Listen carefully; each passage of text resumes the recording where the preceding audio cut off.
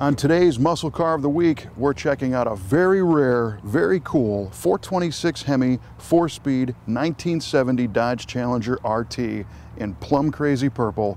They only made 137 of these cars.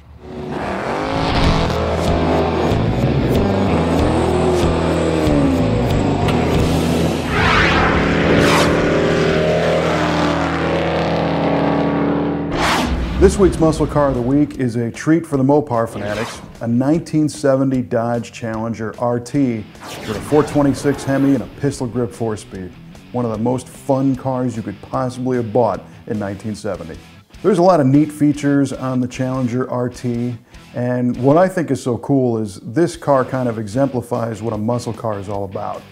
It starts off with a, you know, kind of a lightweight, basic two-door coupe, and they just added things to it to make it cooler and cooler. I mean, things you don't need, but they really make the car kick ass.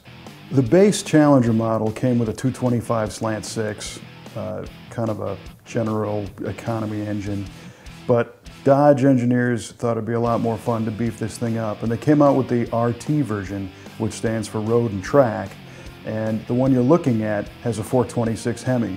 So the heart of the beast is the 426 cubic inch Hemi V8. And this thing, I mean, they call them elephant motors for a reason. Look at how big this thing is. It barely fits between the shock towers on this car. Now the base Challenger RT engine was a 383. It was still a really strong performer. But when you're looking at 425 horsepower and 490 foot-pounds of torque in that Hemi, you've got something that's going to make some serious tire smoke rated at 425 horsepower and 490 foot-pounds of torque. But we all know that that's not the truth. This thing puts out way more than that, and they always did. Plus the fact that they made power at every RPM range, enough to annihilate the tires whenever you stepped on the gas. Uh, 10 and a quarter to one compression. I mean, these things, they're monsters. And it's backed up by the new process, uh, four-speed transmission with the pistol grip shifter. And there's nothing more satisfying than just grabbing this thing and ripping through the gears, especially when you got Hemi power to burn the tires. I mean, who wouldn't have a fun time in this car? It's ridiculous. Now the pistol grip, not only does it feel good, you know, but the, the Dodge guys were all about the gun references, you know, back in the day. You had a, a pistol grip shifter, you had a Magnum engine, you know, it was all about power. And it's funny to think if they tried to have a pistol grip shifter today, you know, people would be rioting in the streets. So it really shows what a different time period this car came with. Uh, other cool things are the color. I mean, it's plum crazy purple, which was one of Dodge's most famous colors, and a color they actually brought back, you know, for the current generation of Challenger, you know, many years later. So uh, a bunch of things on this car are certainly not needed, which is kind of the essence of a muscle car. You don't need a 426 Hemi, you don't need the pistol grip shifter, you don't need a 410 rear gear, uh, but it sure is fun. This is a 20,000 mile car and it's got a great restoration on it, so everything feels new. This car was restored by Ken Mosier of the Finer Details, and he's a widely known Mopar restoration guru. And he's known about this car for many, many years and, and tried to obtain it from the previous owner.